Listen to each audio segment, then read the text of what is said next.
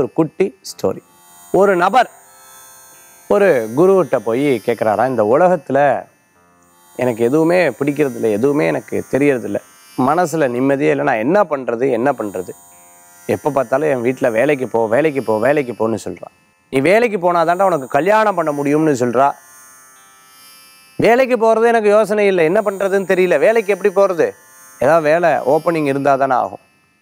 அப்படின்னு சொன்னேன் அப்போ அந்த குரு சொல்கிறார் இந்த இயற்கை உனக்கு நிறையா வழிகாட்டுதல். ஒவ்வொரு நிமிஷமும் உனக்கு பல விஷயங்களை கற்றுக் கொடுக்கறது.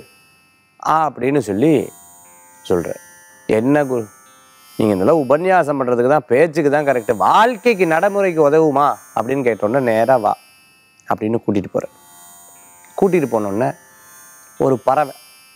அந்த பறவை ஒரு குஞ்சு பறிக்கிறது.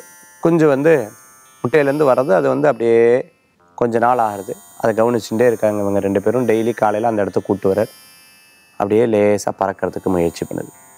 தன்னுடைய பறவை அந்த இருண்டு அந்த ரெக்கைகள் மூலமாக தட்டி கீழே விழுகுது. திருப்பி தட்டி கீழே விழுகுது. திருப்பி தட்டி விழுகிறது. திருப்பி அப்படியே பறக்கிறது.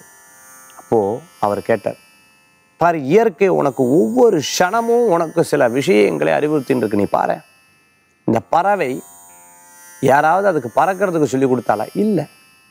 மீனுக்கு நீந்தறதுக்கு சொல்லி கொடுத்தாரா? இல்லை. புலிக்கு பாயறதுக்கு சொல்லி கொடுக்குறாரா? இல்லை. இப்படியெல்லாம் இருக்கும் பொழுது அது தன்னைத்தானே எப்படி கற்றுக்கொள்கிறதோ அதே போன்று நீ உன் வாழ்வில் உன்னுடைய கற்றுக்கொள்ளக்கூடிய ப்ராசஸிங்கை நீ எடுக்கணும். அதுக்கப்புறம் ஃபஸ்ட்டு லேர்ன் அதுக்கப்புறம் எல் எடுத்துட்டேன்னா ஏர்ன் வந்துடும் அப்போது ஆக உன்னுடைய ப்ராசஸிங் என்ன? இது கற்றுக்கொள்ளக்கூடிய நேரம் இது அப்படிங்கிறத வைத்து கொண்டேன்னா அதுக்கப்புறம் நான் இதில் ப்ரொசீட் பண்ணுவேங்கிற ஒரு ரொம்ப தெளிவான சிந்தனை வச்சுட்டேன்னா சக்ஸஸ் ஆகிடுவேன் என்றைக்குமே அப்படித்தான்.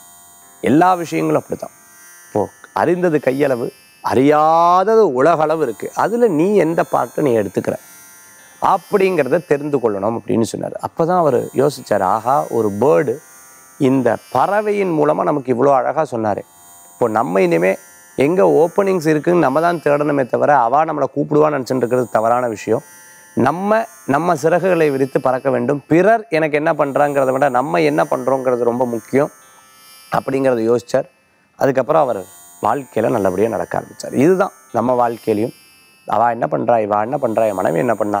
நான் இத்தனை பண்ண நான் அவள் என்ன பண்ணா? அவள் பாட்டுக்கு பண்ணிகிட்டே இருக்கட்டும். நீங்கள் உங்களுடைய விஷயத்தை மட்டும் செயல்படுத்தி பாருங்கள் சக்ஸஸுக்கு கொண்டு வரும் அதுக்கப்புறம் இந்த குட்டி ஸ்டோரியோட அருமை உங்களுக்கு புரியும்.